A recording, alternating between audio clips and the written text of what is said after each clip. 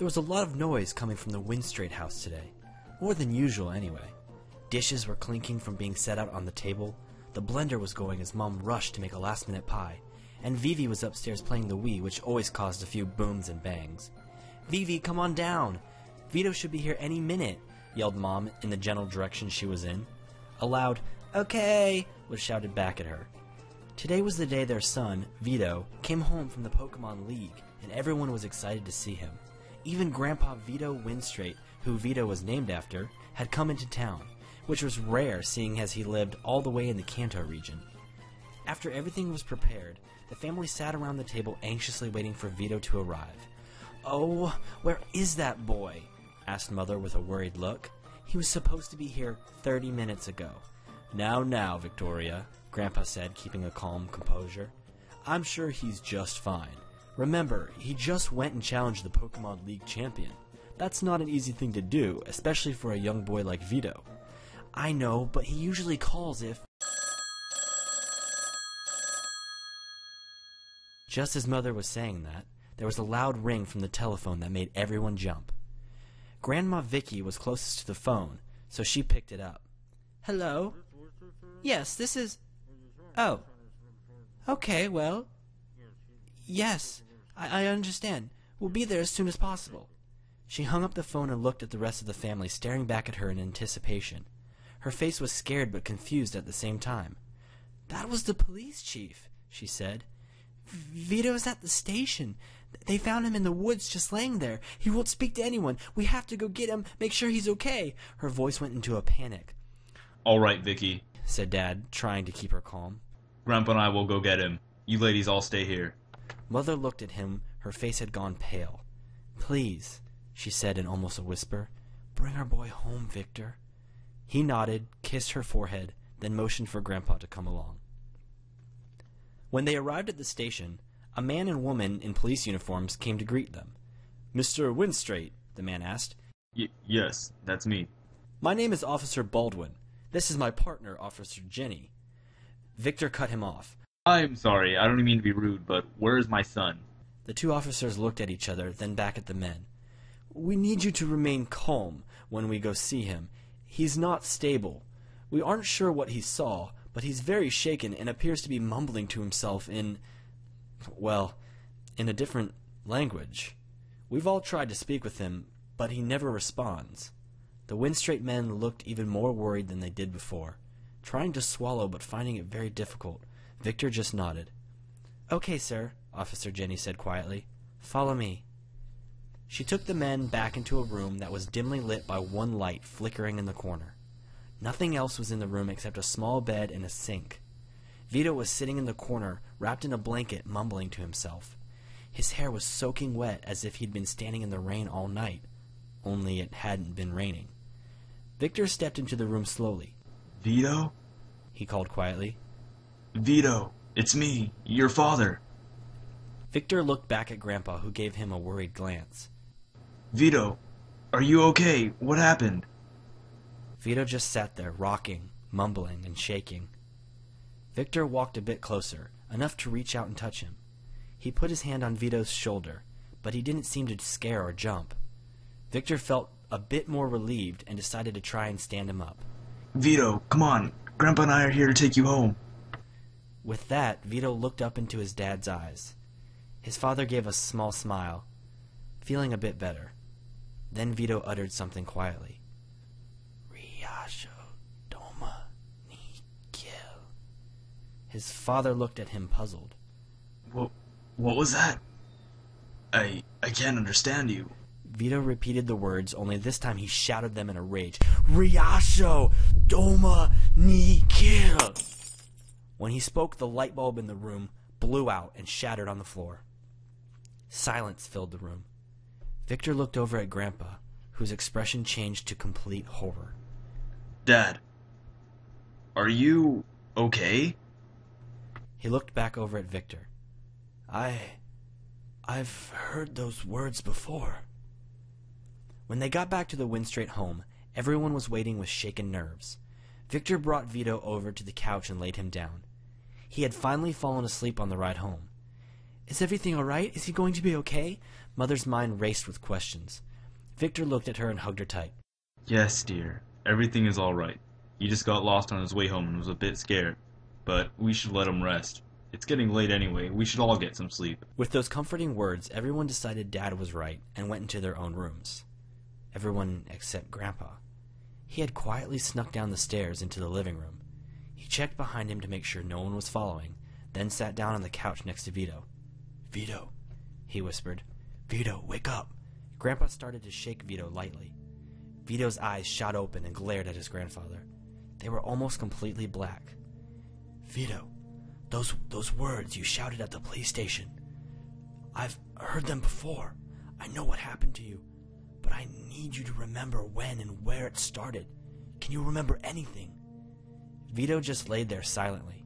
Grandpa grabbed him and shook him much harder this time. Vito, it's of most importance that you remember. Grandpa looked down at him. His skin was scarred and bruised. Vito whispered something, but Grandpa couldn't hear him. He leaned down and put his ear above Vito's mouth. He whispered again. Mossdeep city. Grandpa knew exactly what was there in Mossdeep City the Space Center. He had been there before many years ago. He jumped up, packed his things as quickly as he could, and took the next flight over to Most When he arrived the next morning, he went straight over to the Space Center and began asking questions. Did anyone see a dark haired boy named Vito come in?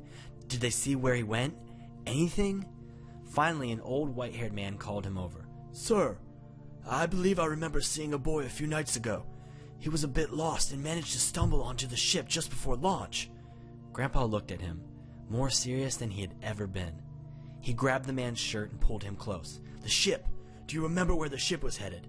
Well, do you? The man looked a bit scared but managed to answer. I, I, I believe they were headed to the, the dead space hole. They'd been researching it for years. They believe that there's a Pokemon who. But before he could finish, Grandpa dropped the man and ran to the ship that was now boarding. Carefully, he snuck on and went to the back air chamber. This is all so familiar, Grandpa thought. No one else seemed to be boarding the ship, but Grandpa didn't really question it. He thought maybe they were sending a decoy ship to see how safe the dead space hole was. There was a tremendously loud voice over the intercom. One minute to launch. 59, 58, 57. It was the longest minute Grandpa had ever known. The ship began to rumble. He could smell smoke and fumes pouring from outside the ship. He made sure that he was securely strapped into the seat and closed his eyes. I've done this before. I just know I have. But when? He listened to the intercom again. Five, four,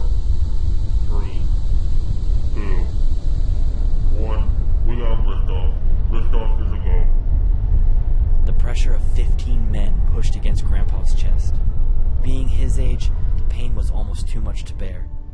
After what seemed like hours, the ship began to straighten out and was smoothly sailing towards its destination.